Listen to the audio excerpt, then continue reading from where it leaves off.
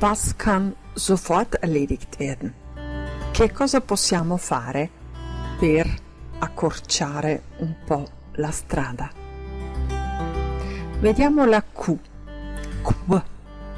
Quanto costa una birra piccola? Si ricorda? Erinnern Sie sich an das Modul 1? Dort habe ich auf die unterschiedliche Artikulation des Lautes Q im Deutschen und im Italienischen hingewiesen. Ho spiegato la differenza tra la Q italiana e quella tedesca. Per pronunciarla all'italiana basta poco. Attenzione! Um diesen Laut italienisch klingen zu lassen, brauchen Sie nur an den Spitzmaulfrosch zu denken.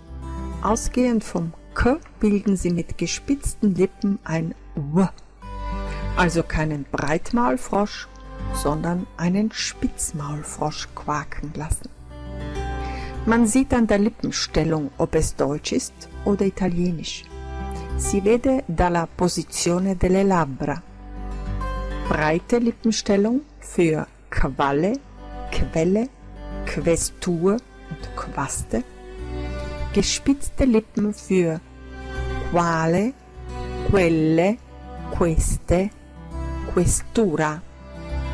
Acqua, dunque, comunque, questo qui. Sprechen Sie diese Worte einige Male nach, achten Sie auf den Unterschied zwischen Qualle und Quale.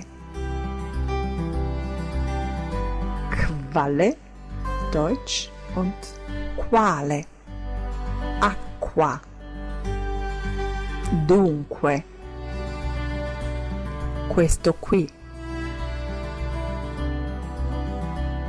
Comunque. Se le sembra complicato pronunciare 555, allora immagini un italiano che lotta con 555.